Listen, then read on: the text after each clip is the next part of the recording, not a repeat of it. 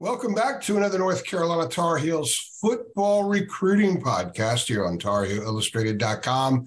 And if you are watching us on our YouTube channel that is called Tar Heel Illustrated, I'm THI publisher Andrew Jones, and joining me is our director of football recruiting, Miss Deana King. And Deana, we haven't done a round robin type thing, a whole encompassing football recruiting podcast for a while, and there's been so much going on the last few weeks around Carolina recruiting. So we decided right now, perfect time to just sort of rip open the box and see what's in there and kind of bounce around a few areas surrounding Carolina football recruiting. The first I want to get to is Evan Bennett.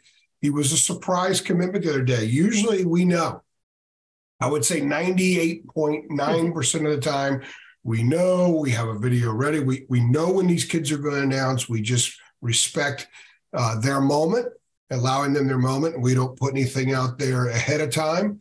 And then when the kid pops, we're ready to roll with all kinds of content. But Evan Bennett, we admit, caught us by surprise. So we didn't have a video. I was in the air flying to Syracuse when it happened. So I get off the plane, the plane lands. I take my phone off airplane mode, and Dina's got like 647 text messages about all kinds of stuff going on, including Evan Bennett, six foot three, 205 pound linebacker in the class of 2024, the first member of the class of 2024, Eatonton, Georgia. The Gatewood School. Uh, you have learned a lot about him in the last few days since he popped. So, what can you tell us about Evan Bennett? First of all, it never fails when you're traveling somewhere. I know.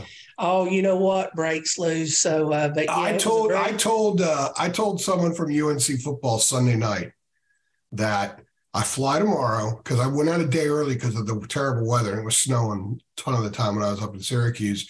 And I said, something's going to happen when I'm in the plane. Well, multiple things happened. And when I landed, I'm like, ah, well, here we go. So go ahead, Evan Bennett. yeah, Bennett, he he got offered back in the fall. Uh, staff really liked him, and uh, he was one of around twenty guys that came up last weekend and took a uh, unofficial visit on campus. Was at the basketball game against uh, NC State. What a great environment for those youngsters to be in, seeing.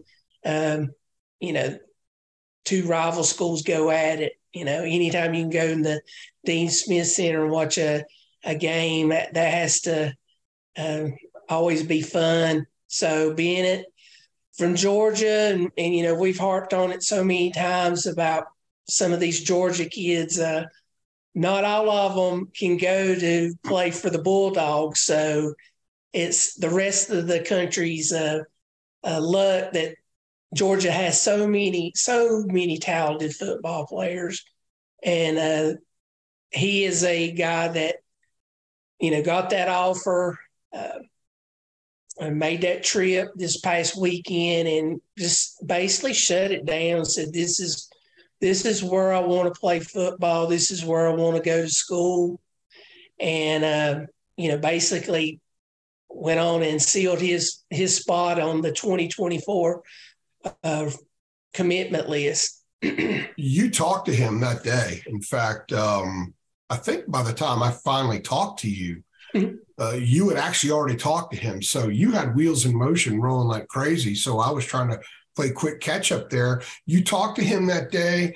Uh, what did he tell you about why Carolina and why he felt so strongly about it that, hey, you know what? I'm shutting everything down. I'm good with this we talked about the program, you know, being a, a, a Power Five program that has a great shot of doing big things. He believes in Coach Brown, his in Coach Brown's mission about getting Carolina back to national relevance. And and plus he he just liked everything about North Carolina, the school, the tradition. He he talked about the the the players lounge how awesome that place was and they're still still adding things. He talked about carolina blue the color and the gear and everything. So you know it, it's a big recruiting tool for north carolina have that jordan brand. Uh, it, it's just something about the the the Carolina blue that stands out to some of these kids and everything. And he's six foot six foot three, two oh five. He he's a great physical specimen. He he's a versatile kid. He he played on both sides of the ball and, and for his high school team. So uh, you know, he he makes me think, you know, I've not actually seen uh, this uh, Caleb Lavallee play yet because he's just got to UNC, but he kind of reminds me a little about a little bit about him, a Georgia kid that played on both sides of the ball, played running back and linebacker. So yeah, uh, you know, he, he, looks he looks like he has a frame that you can add to without any issue. He's going to be yeah, and linebackers, you know, they're going to, you know, with with Cedric and Power moving possibly on. They're they're needing to get some young lineback, linebackers. Absolutely. As we continue to dive into this big box of football recruiting, one of the really impressive things that we can pull out is right there at Providence Day. I mean, that Providence Day is loaded. There's always a school in Charlotte that's just freaking loaded you know, uh, Mallard Creek's had its time, and I know that uh, Myers Park has had its time. Right now, it's there was a day when Independence always had guys. Now it's Providence Day this year. Uh, Carolina, we've talked a lot about Jaden Davis, and we're going to get into him. But also, there's Jordan Shipp, the four-star receiver. We've seen him. We saw him at the at the Showtime camp. Channing Goodwin, three-star receiver. I know Brandon has seen him in some seven on sevens and talked to him. And of course, big time stud David Sanders, number one offensive tackle in the class 25. We're going to hit all four of these kids in general. So let's start with Jaden Davis. You know Jaden well. You've seen him a lot. You've talked to him a lot in person just recently. You gave him your award as the state player of the year.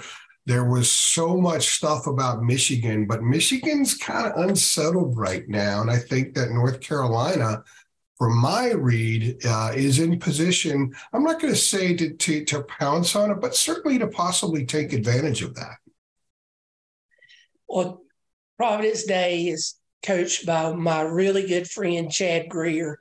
And I will say every time I go to Providence Day, it's just a, a great experience to go down there. They have great facilities, a great coaching staff. And, you know, Coach Grier is one of the best offensive minds in in my opinion, all over all over the United States. A great quarterback coach, coached his son Will, who's with the Cowboys now, Coach Sam Hartman, who Wake Forest and now is going to be at Notre Dame, and uh, just just a great guy. But um, yeah, you speak about Providence Day. You're not even mentioning some of the other guys that was on that team that won a state championship this past fall Chris Peal, who's uh, went and signed with Georgia. Another 2024 kid, Brody Barnhart, who I really liked in the defense secondary. Uh, he's released his top schools, and North Carolina wasn't one of those top schools, but uh, he, you know, Jaden Davis, we'll get to him. You know, I, I've, when I've talked about Jaden Davis, I've I've always told you what a um, a really smart, intelligent kid this is. He's got he's got a lot on him and he just seems like he's so cool. He knows exactly what to say. When reporters and everybody come up to him, he's just he doesn't have a bad word to say about anybody. You know, if I asked him about North Carolina, he'll talk about North Carolina, the Ohio State, Georgia, Clemson, always positive. Um, but like you said, Michigan has always pretty much been the presumed leader for him. And with all with Coach Harbaugh and flirting with the NFL and some other issues up at Michigan, you know, it's kind of got a lot of us that follows recruiting wondering why, you know, he hadn't already committed to Michigan because we we assume because he has been up to Michigan a lot. But with all that going on, he's open. I was down there, like you said, the other two weeks ago to give him the award. And um, the next day, I believe Coach Brown and Coach Lindsey, uh, Coach Galloway, Coach Thigpen, I think the whole, basically the whole staff was down in Charlotte. They went to Providence Day, you know, because you know you're crazy if you're not going to Providence Day. And he yeah. told me he was wanting to get to know Coach Lindsey. Um, obviously, he knows Coach Brown and what Coach Brown has done, but he wanted to get a better feel for Coach Lindsey. Excuse so, me. So let me ask you. Let me ask you. Staying on on Jaden Davis, um, the door has at the very. It's at least slightly ajar for North Carolina and some other schools, and, and you told me, and perhaps you, you can you you can elaborate on this that maybe there's a another look at UNC that he's giving, and that it's one, you know, Sam is now going to start in year two going in with the commanders. Drake is going to be one of the top two Heisman guys going into the start of the season, you know, behind Caleb Williams, obviously. That they're Charlotte kids. And and, and, it mattered to them being at North Carolina, and they've been able they're able to reach their dreams going through North Carolina and develop going through North Carolina. Now that was under Longo. Lindsey's there now. That might be a little bit different, and maybe Jaden waits a little bit longer. But you you sense that the appeal of what those guys were able to achieve at the in-state school might resonate a little bit more with Jaden now than maybe it did before. That's just sort of a hunch you have. Yeah, Jaden is really close to both of those guys, Sam and Drake. And for them being in Charlotte, it, it just it shows that you know uh, a kid from Charlotte can get can get to the NFL no matter where he goes. You know, I mean, uh, like you said, Sam with Washington, Drake, possibly being the top pick in the draft. You know, and that's the last two quarterbacks. Last both were record-setting quarterbacks. Uh, they both, uh, they all three have played for uh, Anthony Boone, uh, seven on seven yeah. with the Carolina Stars, and Anthony's done. Anthony's resume is outstanding, you know, with yeah. with quarterbacks and everything. So yeah, I think that you know the door wasn't closed on Carolina. It just maybe create a little bit more open, and you know, Mack is Mack is all about trying to keep the the the in-state guys home, and I'm sure he's pushing that narrative that hey, look at Sam, look at Drake, you can be the next one. You know, I mean that that's just the way the the quarterback room is. You know, Jaden would be there. You know, Drake moves on, he'll be there with with Tad Hudson, another Charlotte prospect. Um, our uh, good Connor quarterback. Yeah, Conner Harrell out in from Alabama. So Jefferson Boaz. We don't know what Jefferson's plans are, but it would be set up where he would have an opportunity to yeah. to come in.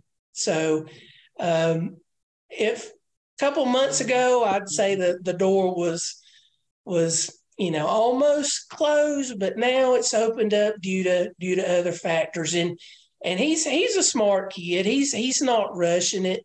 He wants to make sure his parents are heavily involved in the decision. Coach Grier is a good guy to have in a corner to to guide and everything. So it'll be interesting to see what else where Jordan go. I mean Jaden goes uh, the next few weeks and you know on into February. We're gonna continue talking about the 2024 quarterback options in a few minutes. We're just doing Providence Day right now. So we'll come back to Jaden briefly, and then we'll talk about Jake Merklinger and KJ Jackson. Jordan Shipp, four star wide receiver, also at Providence Day. He's a big time player. Again, he's one of these kids that two years ago you said he's going to be a big time player. Keep an eye on him. He's going to continue to ascend, and that's exactly what he's done, Deana. Well, it's in his bloodlines. His daddy, Steve, was a tremendous wide receiver from Charlotte, went to Florida and everything. And, uh, you know, following in his foot, footsteps is is big, you know, and Brandon P, you know, he he was down there with me on a, a, some I think at Rivals camp and uh, he Brandon went and watched Providence Day because Brandon's based in Charlotte, so he can just run right over and see all these guys. But um, you know, he built a relationship with Jordan and getting some uh, recruiting info for us and everything. And at that time, Jordan hadn't got an offer from Carolina, but uh, hmm. Coach Galloway, uh, you know, I don't know. Carolina sometimes are they they love to be thorough in their evaluations, and they finally gave Jordan an offer. Jordan and Jaden were at North Carolina FMU game uh, last fall. I think believe Jordan come back for I think maybe uh, another game uh, later on in the fall. But you know he's he's a uh, he's got Michigan on his list too. NC State, you know, a lot of uh, local schools around here are really interested. He's a big time playmaker, so uh, uh, he he loves North Carolina. He was was up there uh, with the court in Providence days this past weekend. Took in the the basketball game, had fun. And he's always saying, you know, Coach Galloway's his guy. So Coach Galloway has built tremendous relationships with all these uh, uh, wide receiver guys. Let's stay with the wide receivers at Providence Day with Channing Goodwin. We have a piece that we should have run by the time this podcast is out on him. You spoke to him just a couple days ago. So uh, he's he's a kid that he's not getting as much attention as Jordan Shipp, obviously, and Jaden Davis gets a ton, and Sanders. But whoever gets Channing Goodwin's going to get themselves a pretty good football player. Yeah, his he's kind of like um, George Shipp. His dad played at University of Michigan, so all three of these got Michigan high on their list. You know, and and a lot of people are just assuming that all three of them could be a package deal, and of course when you talk to guys, they got to do what's best for them they, they always say, oh, it would be nice playing together with, with those, but they got to do what's what's best. But uh, he got offer, I think it was uh, last week from Carolina, and it's you know it's been a, he's been waiting on that. Uh, he he was being very truthful that he's got to to build relationships with uh, Coach Galloway and the staff because, of course, you know, with them offering late, they've not built that those relationships with him. So, but he he went up this past weekend, took in the game. Also said he had fun. It was, it's always fun to see the kids post on social media. They're always got their phones out, and and at Carolina they march them out in front of everybody and, and stuff. So, but Shannon, you know, he's been to a lot of the local area schools, state, Virginia Tech. Like I said, Michigan, they've been at Michigan a few times. So uh, he, he's kind of ways from uh, deciding anything. He's not even put on a top list. So uh, a lot of these kids are taking their time and, and, and weighing all their options. And he's, he's a great playmaker. I mean, Jaden, Jaden Davis had a lot of weapons to throw to. So yeah, uh, they're they're a big part of making him look good too. He he also has a lot of time to pass because he has a top offensive tackle who will probably take care of anybody's entire front line in David Sanders. David, you hmm. you were talking about he's class of 25. You've been talking about him for a couple of years as well, Deana, and he was in Chapel Hill last weekend for the NC State game. Mack, to, to, I don't know how much people understand how when the kids come in for a basketball game, the football kids, they actually are back in the tunnel with the visiting team. The, the press room is right next to the visiting team's locker room at the Dean Dome. And then there's this tunnel you have to come out when the team comes out of the court. Well, the football recruits will kind of hang out right there and then in an order they walk out and they walk in front of the student section then up through the stands and by the way they went up the aisle right in front of roy williams where he sits and roy was leaning over fist banging hmm. fist bumping every one of those kids. So they walk out in front of the student section. The students are clapping for him, and some of them are yelling to, to David David Sanders. And guess who David's with? Mack Brown. Mack made sure that he's going to walk right alongside him. So I thought that was interesting. But you know, he's he's somebody that every program in the nation would take in a heartbeat. David is the, the number one player in the class of 2025 period. And he he earned that right uh, last uh, last spring. Me and Brandon was at the rivals camp down there at Nations uh, Ford High School in uh, South Carolina, and he won the the offensive line award there. And you know, there was a lot of talent in the trenches down there. You had Sanders there, and he was going up against kids like Jamal Jared and and some of the other top defensive uh, Davian Hobbs, and it, it, was just a loaded camp there. And David, you know, he he David has got so much. He can grow so much. I mean, he is like six six in the 230s, 240 range. Athletic. I, I know Coach Grier used him at tight end some. He's that athletic. So uh, and, rivals and, rivals now listen at 255. I I I was five feet away because I saw mm-hmm. him with Mack and did a little nod with Mack and and um, he looks he's six six. There's no doubt about it.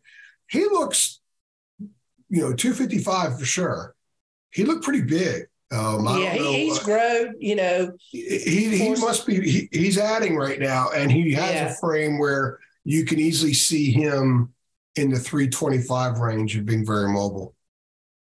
Yeah. And, you know, he's a kid that my impression when I've always talked to him, he's got the whole picture in mind when he's being recruited. I mean, when I spoke to him, after his trip up to North Carolina because this was actually his, and he had been up there for just to walk around uh, during the camp season. He didn't participate. He just, but this is the first time he got to really see a lot of the other stuff and get to talk to like people in and around the staff about other things just besides football and what stood out to me was, I mean, when I asked him, you know, what were the best things about the visit, he was talking about how he got to talk with academic people. I think academics is going to be huge for him. He's he sees the big picture. He knows he could possibly play some years in the NFL, but he's wanting that great education and he knows North Carolina can give him a, a great education. So it was a he had his whole family up there. He talked about you know meeting Coach Clements and, and, and building a relationship with him. And his sister asking Coach Clements questions. His parents asking Coach Clements questions. So it was kind of cool seeing him bring that up. And and like I said, getting to see everything that Chapel Hill has to offer was a, a big eye opener for him because, like you said, everybody in the country is going to be wanting David Sanders Jr. He's just he's just that good. We're going to have two other parts to this podcast, so everybody knows it's just kind of a smorgasbord of stuff. We're going to hit on the 2024 quarterbacks, uh, target quarterback targets, and also the footprint footprint is what it is, but they have spent a lot more time in a certain part of the footprint of late. Let's go back to the 24 quarterbacks. We already discussed Jaden Davis. So let's talk about Jake Merklinger, someone who kind of emerged here, what about five weeks ago, maybe? Yeah. Um, we didn't really, you and I had never really talked about him before, but not only did he emerge, but he emerged right in the middle of the, of the picture here. He is certainly a target. I think that he's someone um, you'll have to tell me whether you think if, if he was if he called him up tomorrow and wanted to pop, I'd it'd be very interesting to see if they would take it or not right just yet. But he is definitely someone that they're very interested in. He's not. Uh, someone advanced the notion that they're using him to try to force Jaden Davis's hand. I don't think anybody can force Jaden Davis's hand. Jaden's in total control of wherever he wants to go. So I, just think that he's Merklinger is a kid that they would love to have. And there's a plan that if you don't get Jaden Davis, there's somebody else there. But um, he looks like a pretty good fit when you watch his film and you look at Drake. And I think Drake is, I would say Drake's more the prototype that they want, but Jaden Davis is nothing like Drake physically. So, what are your thoughts about Jake Merklinger? He's a four star kid from Savannah, Georgia, 6'3, 195. And he kind of looks like a modified version of Drake to me. Am I wrong for saying that or what? No. I'm just going to add a little bit. You know, the quarterback room for the 24 class kind of took a major change. Um, you know how high I was on Mabrey Mettauer out of Texas. Yeah and that kid had been to Carolina so many times.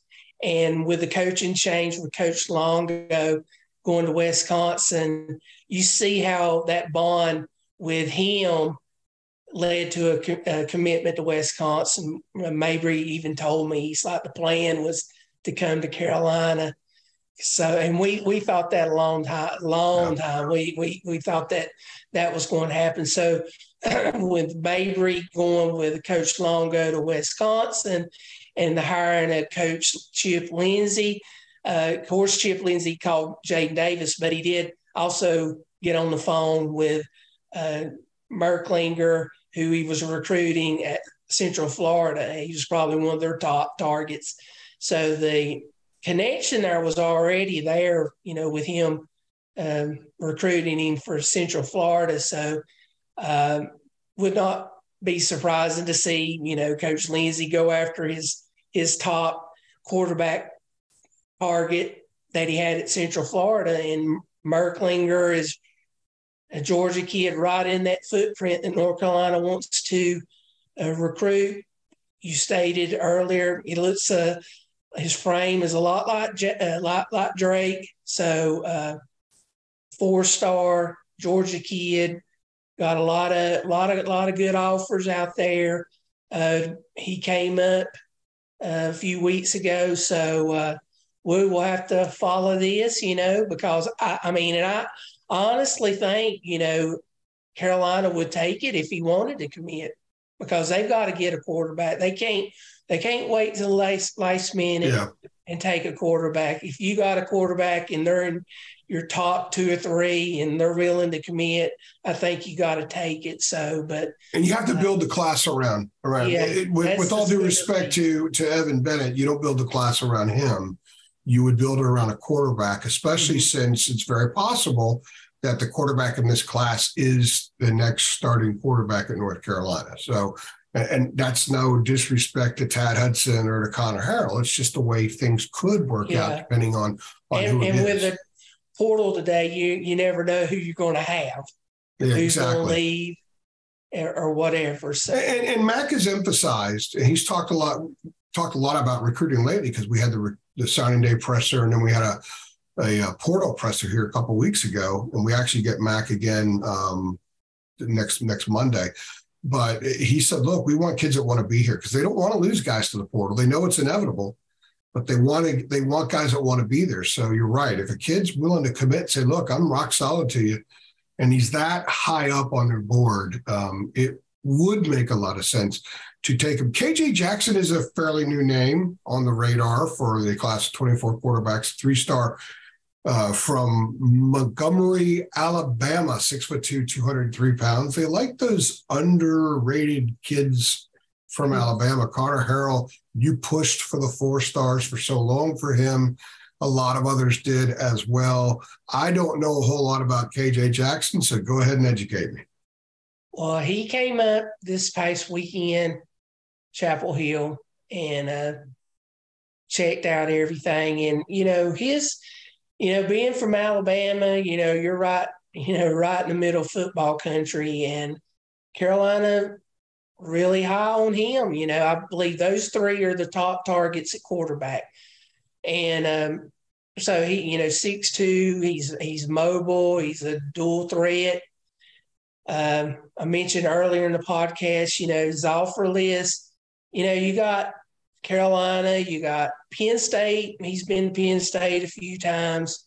uh, Mississippi, um, Louisville, uh, Kentucky, or some of the, some of the programs that are that are interested in him. So I mean, he's a uh, you know a kid that North Carolina thinks that you know would be fit their style. I mean, uh, he's bigger than Davis. Davis is six foot. He's six two. So, uh, just but you know he came he came on his own dime up there to to visit. So he's very high high on North Carolina.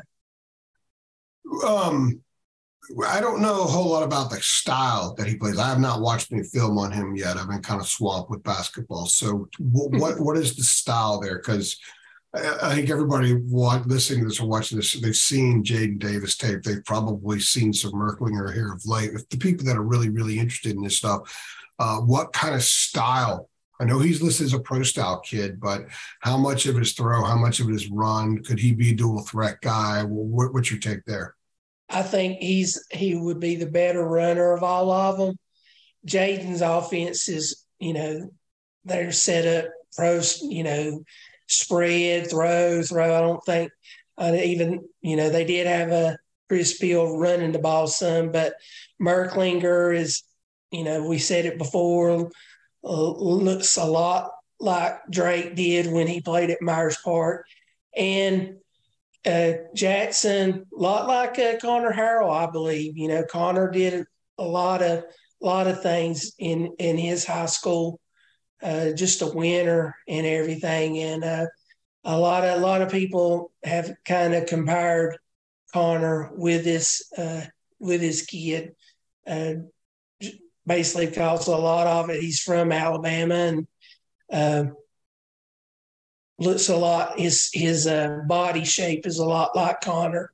So it'll be interesting. Be interested to see, you know, as the recruitments go, uh, who comes back for visits, who comes to camps, you know, in the spring if that happens, and, and everything. Yeah. But those three, those three are the targets right now, and I think the staff would be elated with either three, all three, you know, one of the three, you know, you got to have a quarterback in each class.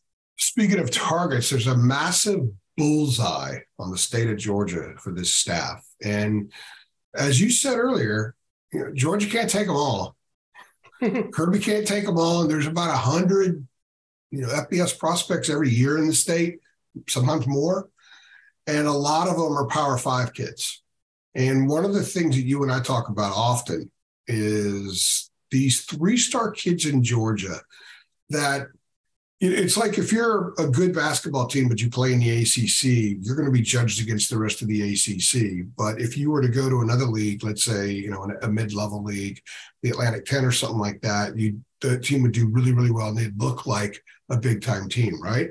So a kid who might be a four star in a lot of other states may end up a three star in Georgia because he's kind of being judged among his peers there in Georgia, which is why so many three star kids from Georgia end up doing so well. North Carolina's got a whole bevy of those kids. Kaimon Rucker's the first comes to mind, a 5.5 kid or whatever, that, who, who may end up in the NFL. So um, the footprint is Atlanta to DC but they are uber focused in the greater Atlanta area, which is loaded with talent, but also throughout the state of, of Georgia. So, what can you tell us about this shift into mo- emphasizing that part of the footprint more than in previous years?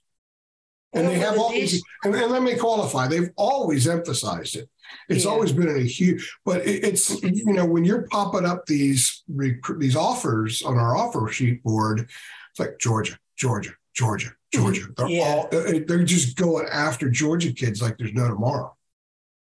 Well, we talked a little bit when they hired Coach Warren, his connections in Georgia, Coach Lindsey, connections in Georgia. They they know that territory really well, and they've built a lot of relationships with coaches in Georgia, and and you know it's just like you said, Georgia has so much talent that you know, it, it would be crazy not to go down in Georgia and and find it. I mean, I sent you a, a tweet a few days ago where it listed the last what 15, 16 NCAA champions is in just in a little in this small little region in the southeast from Louisiana to to South Carolina. There's a reason why there's so many great football players in in that region. I mean, good grief. But let's face it, Atlanta is a big Carolina market. I mean, a lot a lot of alumni live in Atlanta, and a lot of these UNC's kids, second UNC's the most UNC alums outside of the state of North Carolina, located in the Atlanta area. Number two is Washington D.C. Because these kids, I mean, they they see Carolina stuff, you know. Um, the brand, it's a national brand, and you know, some kids they may in their heart want to grow up and be a Georgia Bulldog, but let's face it, everybody can't. I mean, Kirby and his staff can't can't bring in a hundred Georgia kids, uh, you know, and so everybody else gets to get a get a piece of Georgia in their recruiting. So uh, North Carolina is always going to recruit their home footprint. Uh, North Carolina, especially, uh, they've got a great wide receiver crop this year in North Carolina. It's just probably one of the best I've seen in a long time with Jonathan Paylor, Alex Taylor, uh, Jordan Shipp, Channing Goodwin, Micah Gilbert, and Keenan Jackson. Just uh, uh there's plenty more, but um, and I think they they may get some of those guys from uh, North Carolina in the wide receiver room, but there there are some positions where they have to go, you know, more outside of North Carolina in the recruiting footprint, and uh, we've have been re- they've been really uh, busy issuing offers the last two weeks.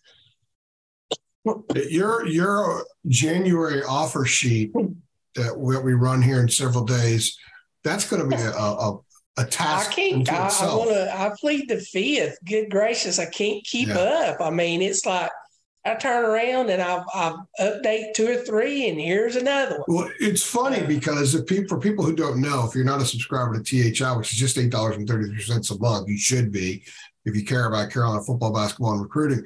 Um, we have a, a, thread on our premium message board. It's it's a it's an offer thread, and every time there is a new offer, we'll, you'll put the date. You know, 12, 16, and then update, you know, tight end from Texas offered or something like that. The last two weeks, it just says more offers. Yeah, because because, I mean, because, every, because every time you'd have to change the, that header six times a day, so it just says mm-hmm. more offers, which I think is funny because literally it is. I I'm going through. I'm, I'm in Syracuse every night in my hotel room, or no, actually I was in the arena still. I left. I left the dome at 4:45 in the morning when I finally finished my work, and I had I was getting ready to write my column. I took like three minutes, got a drink of water, exhale before I wrote my column, and I was I hit Twitter a little bit, and I saw there were two offers that that you must not have seen because because we hadn't yet retweeted it or anything. So I retweeted it, followed the kid, and it's like 3:30 in the morning. Now, obviously, he didn't post at 3:30. They didn't post at 3:30, but you just got to hit hit Twitter all the time to see if these kids are posting these offers because so many of them are, and so many of them are doing so from the state of Georgia. You yeah, mentioned my, the wide receivers in North Carolina, Deana, but in Georgia, it's every position group. Yeah. There's no position group that's lacking in Georgia. They're all strong. Yeah. Um, but like I said, you know, with my Twitter feed, I've got I've got all kinds of kids tagging me. So sometimes I don't see the offer right away, and I'll just I'll see somebody retweet it like Patrick said us at, at Carolina, like it, or sometimes I just go to his his uh his Twitter and and see what's up because uh, he's he he's the general manager, so he should know what's what's going on. But but yeah, North Carolina, they've been really busy. Coach Brown's been I've been seeing tweets from the, the high schools in North Carolina. He's been going to Um, you know, he's made stops in Charlotte, like we said. He's been up in the mountain areas. He's been, um, he went up to Virginia. Uh, he's supposed to be uh, talking, I believe, in Greenville uh, this weekend at a coaching clinic for the eastern part of the high school coaches and stuff. So Mack's traveling, and that's something that you know that we didn't see maybe during the COVID because Mack he wasn't you know with the COVID and everything he wasn't more out on the road this year. He's been he's been uh, putting well I don't know what what way of that's his strength he does he drives or if he's not helicoptering like Larry. that that's Kirby now. Kirby yeah. Kirby. Yeah, I think well, visor, right? Kirby yeah. visor. I think if you're a visor coach, you helicopter. If you're not a visor coach, you. But he's helicopter. been burning the roads up, uh, recruiting and everything. That's always and that's what he loves see. to do, and that works yeah. in his strength because one of the things he talked about during COVID was he couldn't get out there and shake. Mack is a great handshaker.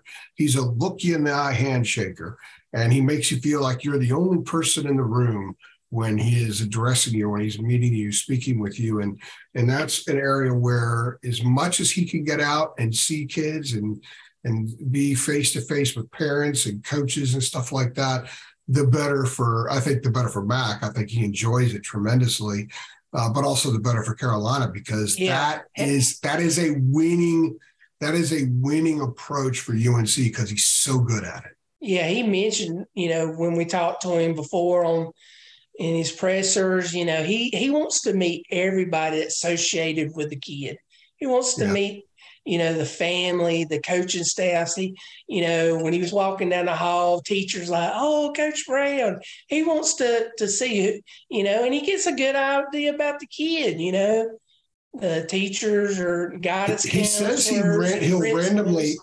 He says he'll randomly ask people in a school about such and such, and he's told a lot of stories about that. And if, if it's in, if it's impromptu and someone's not prepared, and, and whatever the first thing comes out of their mouth, that gives you a little bit of an indication of how they really view somebody. So um, it's interesting his approach. A lot of coaches have that approach too, but we know we're a lot more familiar with his because he discusses it a lot.